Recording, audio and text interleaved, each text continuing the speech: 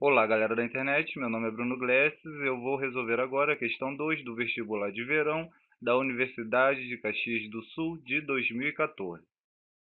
Uma escada de 15 metros encostada em uma parede fica estável quando a distância do chão ao seu topo é 5 metros maior que a distância da parede à base da escada. Então, olha só, a escada tem 15 metros e ela está apoiada em uma parede. Então, AB aqui ó, é o tamanho da escada, que mede 15 metros. Ela fica estável quando a distância do chão ao seu topo, ó, a distância do chão, que é o C, até o topo, que é o A, é 5 metros maior que a distância da parede à base da escada. Ó. A distância da parede à base é x, né? A distância de C até B é x. E a distância aí da base até o topo é o x mais 5, né? porque é 5 metros a mais do que essa distância aqui. Nessa posição, qual é em metros aproximadamente a altura que a escada alcança na parede, considerando que as bases da escada e da parede estão no mesmo nível? Use para o cálculo a aproximação log de 17 na base 4,12 igual a 2. Vejamos aqui. Primeiro, nós vamos aplicar o teorema de Pitágoras nesse triângulo que é retângulo em C. Então, temos o quadrado da hipotenusa é igual à soma dos quadrados dos catetos. A hipotenusa é 15 e os outros catetos x e 5 mais x. Então, 15 ao quadrado é igual a um cateto ao quadrado, que é o 5 mais x, mais o outro cateto ao quadrado, que é x, então x ao quadrado. 15 ao quadrado é 15 vezes 15, 225. E aqui nós vamos desenvolver né, o quadrado da soma, que é o quadrado do primeiro, mais duas vezes o primeiro vezes o segundo, mais o quadrado do segundo. E ainda mais esse x ao quadrado aqui.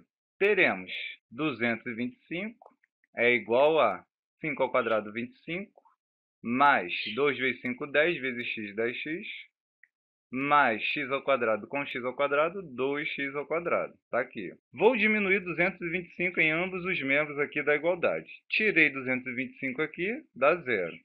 E tirei 225 aqui. Coloquei aqui, estou tirando 225. Menos 225 mais 25 dá menos 200. Coloquei aqui. Ó. O 10x, estou repetindo, e aqui o x ao quadrado mais x ao quadrado, que já fizemos a conta, 2x ao quadrado. Vou dividir ambos os membros por 2 para simplificar. Então, 0 dividido por 2 é 0, menos 200 dividido por 2 é menos 100, 10x dividido por 2 é 5x, e 2x ao quadrado dividido por 2, x ao quadrado. Aqui nós vamos aplicar Bhaskara. Né? Então, primeiro delta. Delta é igual a b ao quadrado. Quem é o b? É o 5. Então, 5 ao quadrado menos 4 vezes A, o A é 1, né, que é o número que está multiplicando x ao quadrado, vezes C, o C é um menos 100. Isso vai dar 5 ao quadrado, 25, menos com menos aqui, mais 4 vezes 1, 4, vezes 100, 400. Então, delta é 425. Aí, galera, presta atenção na maldade aqui, ó.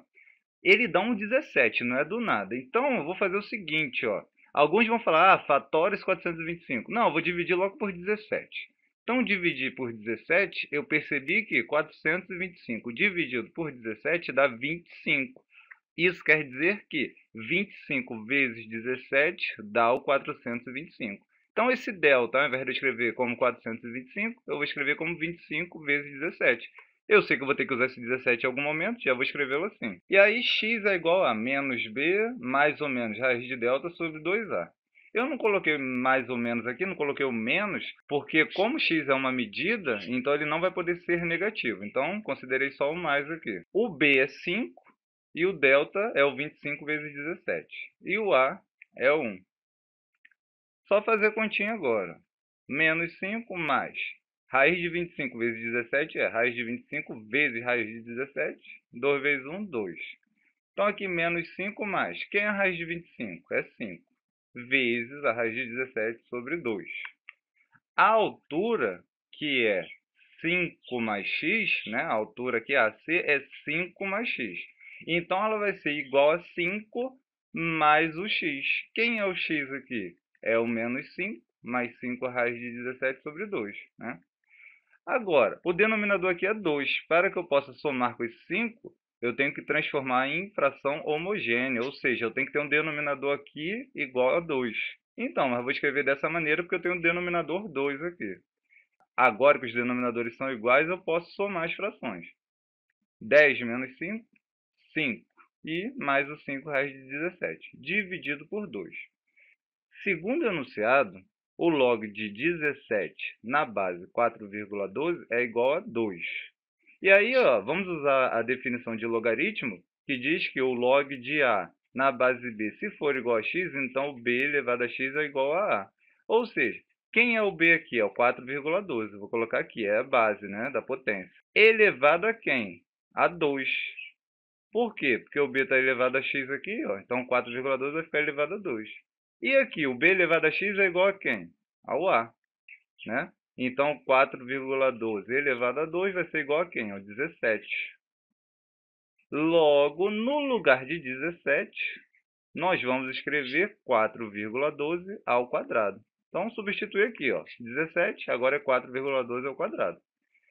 Então, podemos fazer o quê? Simplificar esse 2 com a raiz, porque o 4,2 é positivo.